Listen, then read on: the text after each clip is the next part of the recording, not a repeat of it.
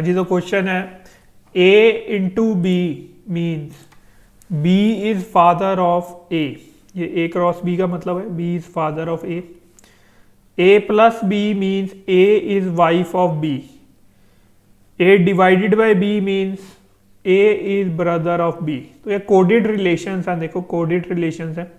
Then what is the relation of J with L in J plus H ये हमें एक equation दी हुई है J plus H divided by R into L ये एक स्टेटमेंट दी हुई है।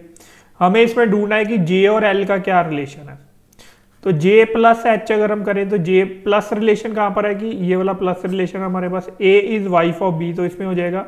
J is wife of H तो ये फ़र्स्ट रिलेशन एस्टेब्लिश हो गया।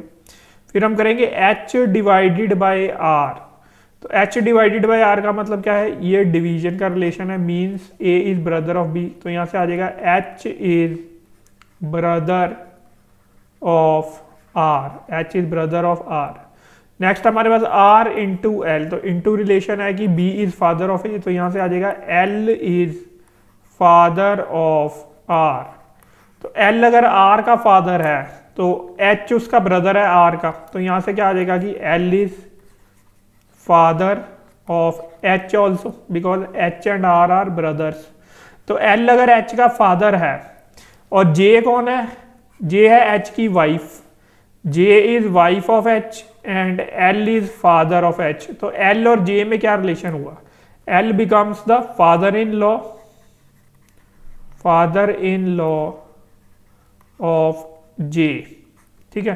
तो हमने पूछा हुआ what is the relation of J with L तो जे के उसका, उस जे का क्या रिलेशन हुआ? एल से J is daughter in law daughter in law of L ठीक है ना? L is father in law of J हम बोल सकते हैं J is daughter in law of L तो करेक्ट ऑप्शन आएगी कि J is daughter in law of L तो ऑप्शन बी के साथ जाएँगे हम कि जे विद एल रिलेशन क्या हुआ? Daughter in law